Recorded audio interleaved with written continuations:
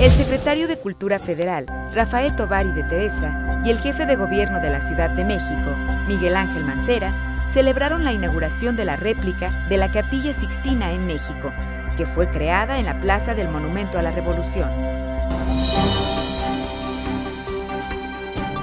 La Capilla Sixtina se coloca en uno de los momentos cumbres del Renacimiento, cuando el hombre vuelve a creer en el hombre y lo coloca en el centro de la creación y nace así el humanismo.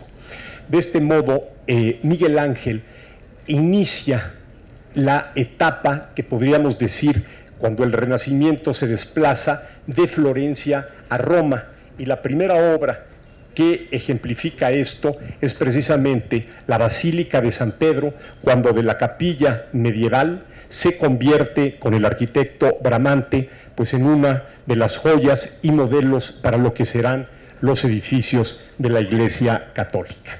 Es el Papa Julio II de la Rovere quien encarga a Miguel Ángel, lo convoca a Roma para que hagan las tumbas familiares, de las cuales de las pocas obras que quedan es el Moisés tan conocido, para que pueda eh, adornar, para que pueda pintar, para que pueda crear sobre las bóvedas y nace así la capilla sixtina.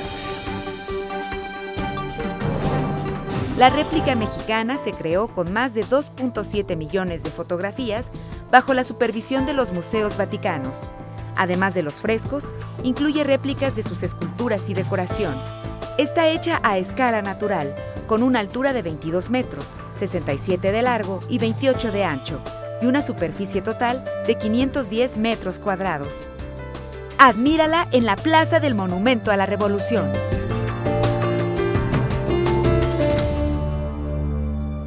Secretaría de Cultura, Gobierno de la República.